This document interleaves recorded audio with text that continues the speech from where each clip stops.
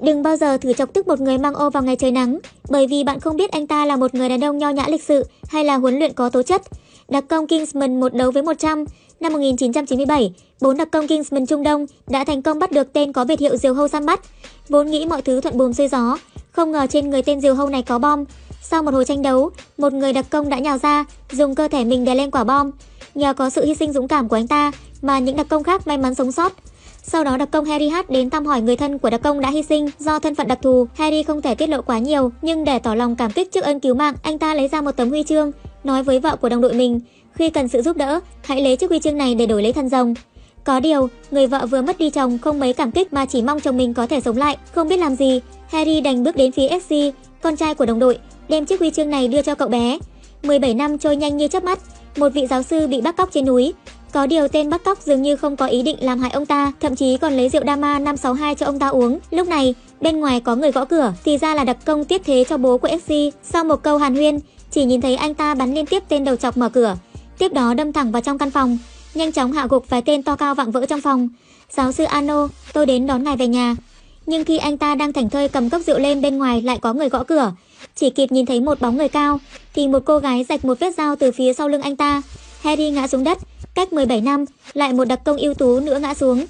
Lãnh đạo các đặc công Kingsman, ông Arthur không thể không tổ chức một hội nghị bàn tròn, đồng thời tìm ra đặc công kế nhiệm đặc hiệu Asilo. Lúc này Exy đã trưởng thành, Mẹ cô gả cho một gã côn đồ, cuộc sống vô cùng khó khăn. Hôm ấy, Exy bắt gặp mấy tên thuộc hạ của bố dượng. Hai bên nhìn không thuận mắt, Exy giả vờ mềm yếu, sau đó lái xe của mấy tên côn đồ này đi. Nhưng không ngờ lại bị cảnh sát bắt giữ. Trong sở cảnh sát, Exy nhớ đến tấm huy chương trên người, liền gọi đến số điện thoại phía sau huy chương. Một lúc sau, Essie được thả ra khỏi sở cảnh sát, còn bên ngoài Harry đang đợi anh ta. Hai chú cháu hàn huyên trong một quán rượu. Harry có chút thất vọng về cuộc sống của Essie. Essie cũng phản bác nói, trên đời này không phải ai cũng có ưu thế như các chú. Lúc này, mấy tên côn đồ đã tìm đến, khiêu khích Essie và Harry. Vừa mất đi đồng đội, tâm trạng của Harry vốn đã không vui vẻ gì.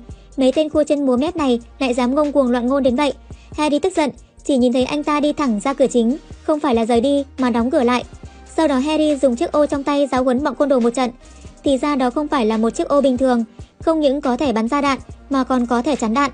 Chỉ một lúc, đám côn đồ đã gục la liệt dưới đất, Đến ông chủ quán rượu cũng bị chiếc đồng hồ bắn thuốc tê gây mất trí nhớ. SC nhìn thấy quá trình này, liền mắt chữ O mồm chữ A. Tất cả những điều này càng làm cậu kiên định, quyết định tham gia vào đội đặc công kinh mừng hơn. Sau đó, dưới sự dẫn dắt của Harry, SC tham gia vào cuộc thi tuyển chọn đặc công mới. Đây nhìn có vẻ như một tiệm quần áo bình thường, nhưng trên thực tế là một cục đặc công thần bí, không chịu sự ràng buộc của nhà nước. Còn XC cũng trải qua những thử nghiệm trước đây chưa từng trải qua. Ban đêm mấy bạn trẻ đang say giấc, chính lúc này phát hiện ra một cảnh tượng bất thường. Không biết nước từ đâu đến cuộn trào vào ký túc xá của bọn họ. Nước lên rất nhanh, hoàn toàn không để cho bọn họ cơ hội phản ứng. Nhìn thấy sắp bị chìm xuống, có người nghĩ ra cách lấy vòi hoa sen cắm vào buồng cầu, thông qua ống nước hình chữ U để hít oxy. Còn FC lại chọn cách mở cửa, nhưng vốn dĩ không thể mở ra được. Lúc này anh ta phát hiện ra chiếc gương phía sau, FC bơi đến, dùng nắm đấm đạp vỡ chiếc kính. Bọn họ được cứu, lúc này sĩ quan huấn luyện Merlin bước đến. Thì ra đây chỉ là thử thách đầu tiên khi bước vào học viện. Mặc dù sĩ quan tán thưởng bọn họ đã thông qua thử thách lần này, nhưng cũng chỉ ra bọn họ bỏ quên tinh thần đồng đội. Baby trong căn phòng là một minh chứng. Cuộc sát hạch của các chàng trai lại tiếp tục. SC cũng giống như mọi người nhận nuôi một chú pet chó con. Chó của SC là loại chó Park. Mày đừng hại tao là người sau cùng, tao nổ súng đấy, thực sự nổ súng đấy. Trải qua các cuộc sát hạch, mặc dù chỉ còn lại 6 người, bên cạnh đó, Harry tìm đến giáo sư từng bị bắt cóc trước đây, đang tra hỏi hung thủ sát hại thực sự là ai. Nhưng chưa kịp nói xong, não của giáo sư đã nở hoa. Thì ra não ông ta đã bị người khác gắn con chip, chỉ cần bại lộ nguy hiểm, não sẽ nở hoa.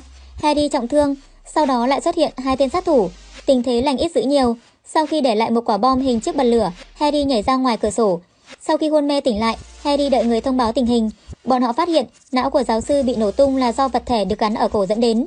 Dựa vào nguồn gốc tín hiệu, bọn họ tìm đến được tên Valentine là người đứng sau những chuyện này. Valentine với khối gia tài cách dù, ông ta phát miễn phí cho mọi người sim điện thoại, nhưng phía sau là cả một kế hoạch vô cùng tàn độc. Thử thách tiếp theo của nam chính là nhảy dù từ trên cao. Lần này bọn họ chỉ cần không tiết lộ ra địa điểm nhảy dù đã được quy định trước đó. Cuộc sát hạch có vẻ như đơn giản, nhưng lại chứa đựng đầy đạo lý huyền diệu.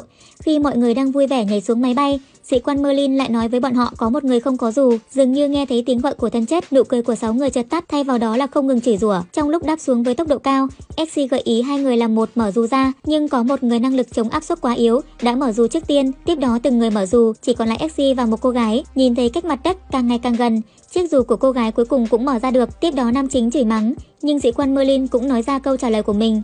Sau đó, ba người cần phải nắm được tâm hồn của một cô gái. Mặc dù là một cuộc hỗn chiến, ba người đều tỏ ra sự thần thông của mình. Không ngờ cuối cùng chưa chiếm giữ được tâm hồn cô gái ấy, ba người đã bị thuốc mê làm ngất đi. Đợi khi tỉnh lại, exi đã bị trói trên đường dây, bên cạnh là chiếc tàu hỏa đang tăng tốc tiến đến. Dưới sự ép hỏi của người đàn ông lạ mặt về tình hình của đặc công Kingsman, exi miệng kín như bưng. Cuối cùng trải qua thử nghiệm lòng trung thành lần này, còn người đàn ông trước mắt anh là Harry. Sau thử nghiệm lần này, người được chọn vào đội đặc công chỉ có exi và nữ chính Zerirer. Không ngờ dưới mệnh lệnh của Arthur, không ngờ lại bắn chết con pet cưng của chính mình. Trong sự đấu tranh giữa tình cảm và lý tính, cuối cùng FC không thể ra tay với con chó Park của mình. Anh ta từ bỏ cơ hội trở thành đặc công Kingsman, trở về nhà.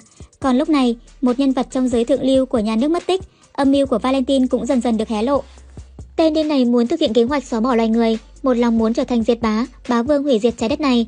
Thì ra đối mặt với sự nóng lên toàn cầu, Valentine theo chủ nghĩa cực đoan muốn xóa bỏ một phần lớn con người.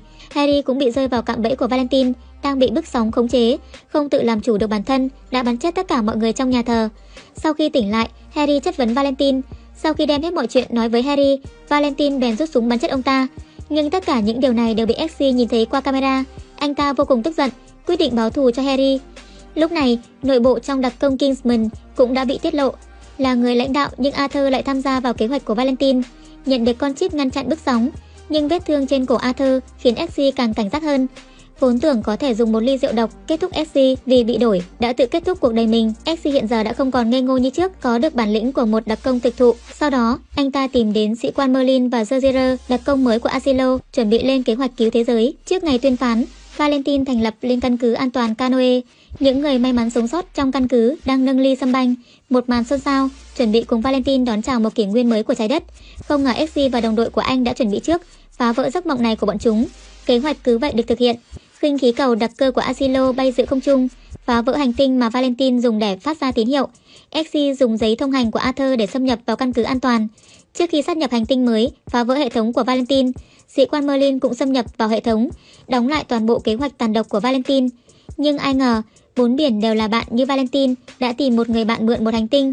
Nhìn thấy linh của Valentine sắp thành công, Exy không nghĩ ngợi gì, cầm lấy chiếc ô một lần nữa phản công quân địch như nước sông đến, thậm chí còn đem vũ khí bao vây máy bay của sĩ quan. Còn lúc này, sĩ quan Merlin vạn năng đang nhập một mã cốt kích hoạt con chip được gắn ở cổ. Những người đang trong căn cứ an toàn, Valentine không thể làm gì chỉ biết gào thét. Căn cứ an toàn bắt đầu một màn pháo hoa, nhưng Valentine một lòng muốn trở thành diệt bá, vẫn tiếp tục khởi động kế hoạch của mình. Thế giới rơi vào hỗn loạn, dưới bức sóng điện từ, con người tự tàn sát lẫn nhau. Mẹ của Exy cũng có ý nghĩ sát hại em gái đang trong nhà vệ sinh để ngăn chặn sự cấp bách của Valentine, nhưng bên cạnh hắn ta có một vệ sĩ giao sắc đầy mình. Trong lúc chiến đấu với vệ sĩ, XC sử dụng hết bản lĩnh của mình, nhưng vẫn không đánh lại được. Anh ta ngã nhào xuống đất, nhặt lên chiếc đĩa tròn dưới đất, đánh mạnh vào người vệ sĩ ấy, không ngờ lại bị chặt đứt thành hai mảnh. Sau cùng, đối mặt với lưỡi dao sắc của vệ sĩ, Exi cũng lợi dụng lưỡi dao sắc bén đầu mũi dày mà Harry đã dạy mình. Độc tố bắt đầu phát giác đánh gục kẻ địch. Exi lấy lưỡi dao nhọn bén của vệ sĩ, nhắm chuẩn Valentine đang ở trên lầu. Anh ném ra mũi dao, đâm trúng Valentine. Đối diện với Valentine đang hấp hối, anh ta lặp lại câu nói mà Valentine đã từng nói với Harry. Tiếc rằng đây không phải là phim điện ảnh. Quá kinh điển rồi. Cuối cùng Exi đã thay đổi một cách ngoạn mục, báo thù được cho chú Harry và cứu thế giới, trở thành đặc công Kingsman thế hệ mới. Bộ phim hôm nay đến đây là kết thúc. Mình là Thỏ. Hãy like và follow trang của mình nhé. Xin cảm ơn mọi người.